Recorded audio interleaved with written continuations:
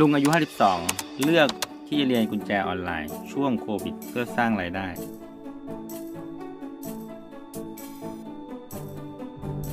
อืมนี่เป็นนี่หลังจากที่ผมเรียนออนไลน์มานะครับ นี่ก็จะมาลองเปิดรถอิซูซูโฟวินได้นี่ครับรอบนะครับ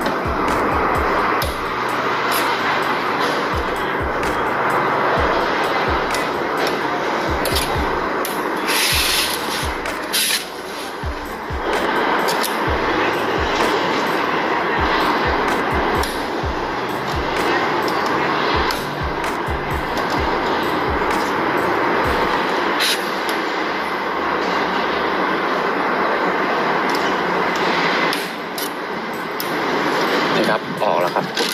ฟังเสียงครับ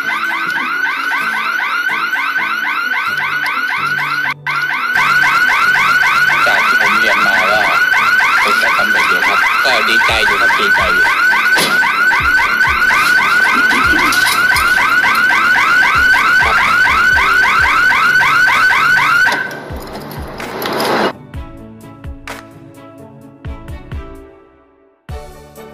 ควิดที่น่ากลัวนะครับ ยังไม่น่ากลัวเท่ากับใจตัวเองนะครับ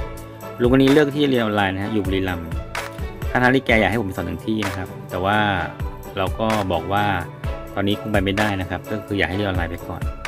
แล้วก็ช่วงหลาย ๆ เดือนที่ผ่านมาก็มีการเรียนออนไลน์เกิดขึ้นเยอะมากนะฮะแล้วก็ผมก็สัญญาทุกคนว่าผมจะไปสอนถึงที่ครั้งหนึ่งนะฮะจะเป็นการเป็นเยี่ยมเป็นแนะแนวแนะนำนะครับ เราจะไม่มีการทิ้งกันนะจะไม่มีการทิ้งให้ใครอยู่ด้านหลังนะครับ ยังไง อย่ากลัวโควิดนะฮะ เพราะสิ่งที่น่ากลัวยิ่งกว่านะก็คือใจของเราเองนะครับ จงคิดและลงมือทำนะครับ ในทุกวิกฤตมีโอกาสนะขอบคุณมากนะครับ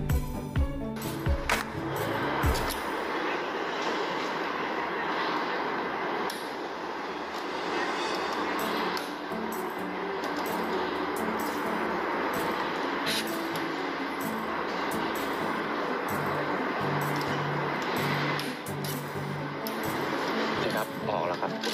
ฟังเสียงครับ